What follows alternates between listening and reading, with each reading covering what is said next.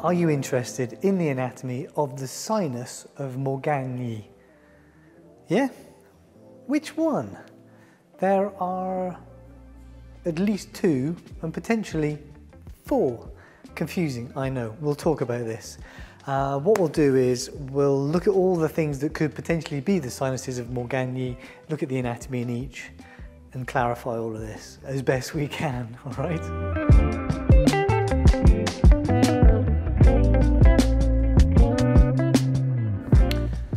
So Morgagni was a major anatomist working from around 1700 onwards. I think 1682, 1771 birth date, death date.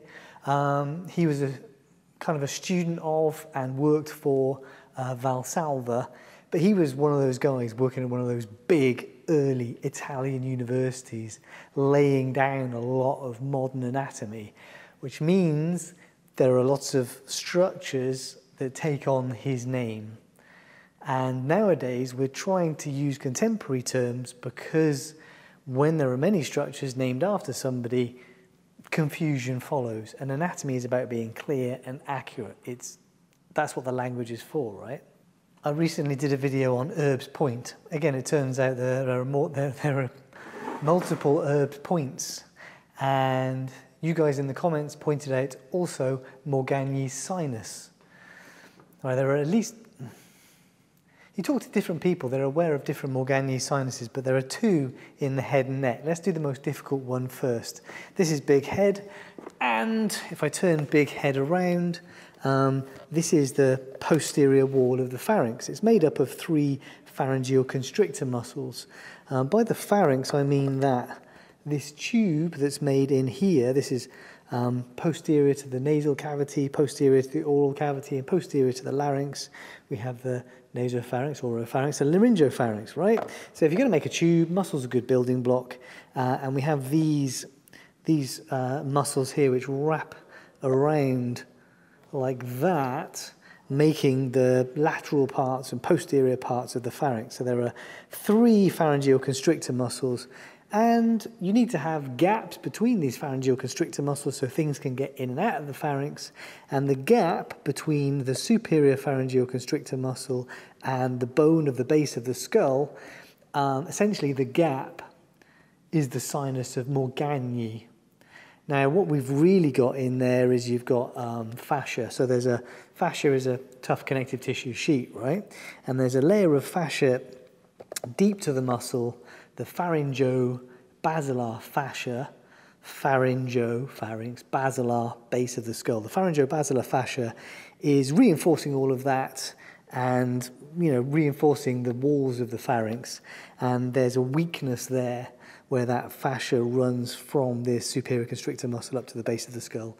So that really that weakness in the pharyngo-basilar fascia is the sinus of Morgagni and there are things that pass through the, that sinus of Morgagni to get in and out of the pharynx. The most notable one for me is the, the pharyngotympanic tube or the eustachian tube or the auditory tube. Let me get another one of these. Right. Um, this is what I'm talking about here.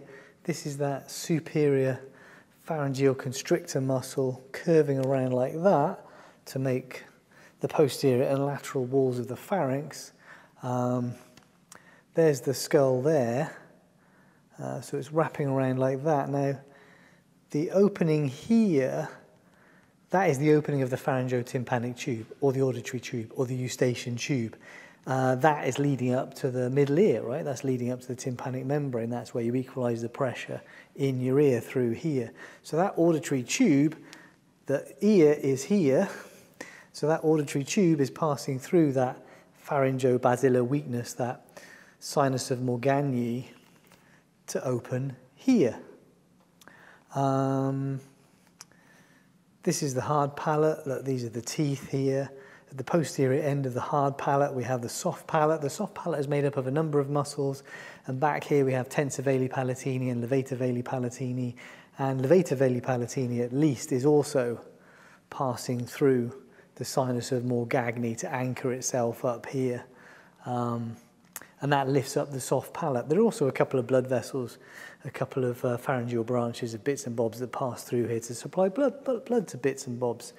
So that's what we're talking about. That's what the sinus of Morgagni is.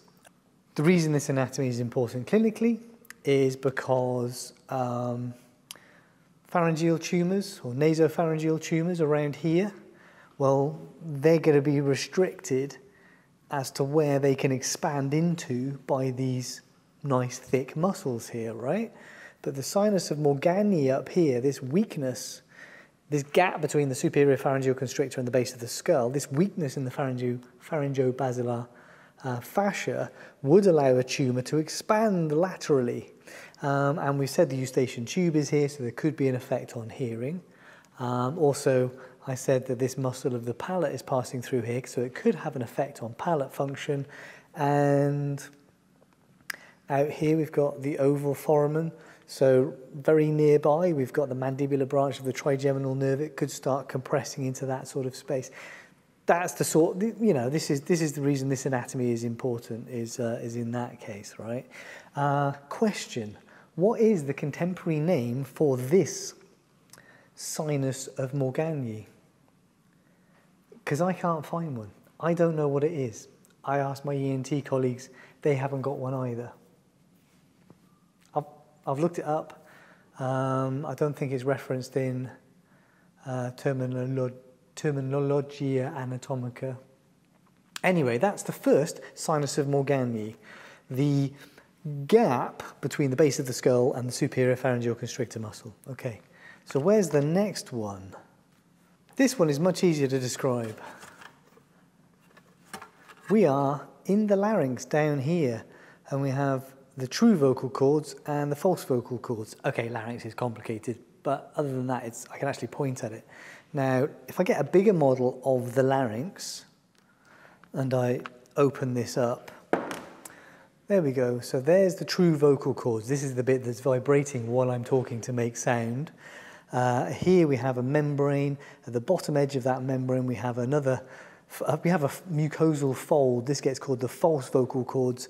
And in between the two, there is a sinus. That's right. That is also a sinus of Morgagni. Uh, the, uh, this is this contemporary. The contemporary name for this is the is the ventricle. Like, so when you chat to ENT surgeons about this, they just say, that's the ventricle, because they know that we're in the larynx. I guess you could call it the laryngeal ventricle. But that fold of membrane in there is the ventricle, but its old name is the sinus of Morgagni. So that's two sinuses of Morgagni. Big heart model, big expensive heart model, so we're to be careful not to drop this one. Whoop. Uh, there's the pulmonary trunk, there's the aorta, right? So the aorta is coming out of the left ventricle. If I pop this off, so I'm taking off the aorta and we look down. So the red one there, that's the, um, the aorta. We can see the, the semilunar valves there, uh, controlling the flow out of the left ventricle and into the aorta and stopping it going back these, um, these semilunar valves, these semilunar cusps, or these cusps of the semilunar valves, they're shaped like half moons. Um, and you can see the coronary arteries are coming off them. Um, and the, the, the aorta here is a little bit swollen at each of these cusps. These are the aortic sinuses, also known as the sinuses of Valsalva. And I said that Morgagni was a student of um, he was a student of Valsalva, but Valsalva was also his boss when he started working. Um, so these guys worked together. They were closely related. Now, supposedly, either these sinuses are also known as the sinuses of Morgagni, or one of those sinuses is known as the sinus of Morgagni. I have struggled to find any solid information or evidence backing up any of this. But these are definitely known as the sinuses of Valsalva. And Morgagni was definitely associated with Valsalva, so it's not beyond the, you know, beyond the reach of imagination, but that one of these sinuses, or all of them, is also a sinus of Morgagni. It does get referenced, it pops up. The reason I mention is it pops up, the aortic sinus of Morgagni. Confusing, that's what it's referring to. Now, in modern terms, um, they've got a couple of names, but that sinus would be the left coronary sinus because the left coronary artery is coming from it. That sinus would be the right coronary sinus because we've got the right coronary artery coming from it. And that sinus hasn't got any coronary arteries coming from it, so we call it the non-coronary sinus. There are other ways of referring to them as well, but those are my preferred ways of naming them if we have the normal anatomy. So that's three sinuses of Morgagni. One more, we've got to go to the other end. Okay, in the last part of the gastrointestinal tract, here's the rectum, the straight bit, here's the anal canal, and you can just about see in here that there are some anal columns. These columns are formed because, well, it's the shape of the mucosa. We've got some blood vessels running longitudinally underneath this. But these columns are also known as the columns of Morgagni and that's fine. But the, at the inferior end of the columns, there is a sinus. And from that sinus, there are glands here that secrete a mucus that lubricate the passage of feces through the anal canal. Could you imagine how these sinuses could be mistakenly referred to as the sinuses of Morgagni? And these are the sorts of things you might hear. So the, these are the problems with using these old eponymous terms in our human memory, which is fallible, is that we remember a thing, we remember it incorrectly, and we pass on that incorrect memory, and we say, yes, the columns of Morgagni and the sinuses of Morgagni. so whichever sinus of Morgagni you wanted to know more about, whether it was the sinus of Morgagni between the superior pharyngeal constrictor and the base of the skull, or if it was the, pharynge- the sinus of Morgagni in the larynx, or the sinus of Morgagni um, at the start of the aorta, or the sinus of Morgagni in the anal canal, I hope I've covered the anatomy satisfactorily for you. Um, Morgagni was one of those really, really important anatomists, and there are many, many other structures that have taken his name. And of course, this is the way many things have been named throughout the body. But it, it's another example of how this can be confusing, and some people are aware of these terms and some people are not, and they get passed on and confused a little bit, as we saw with Erb's point. Um, when we teach, we try to teach the eponymous name that is, that is being used clinically because you need to understand that term, and we teach the modern term, the contemporary term, um, the term that hopefully reduces confusion and makes the language of anatomy more accurate. Anyway, okay.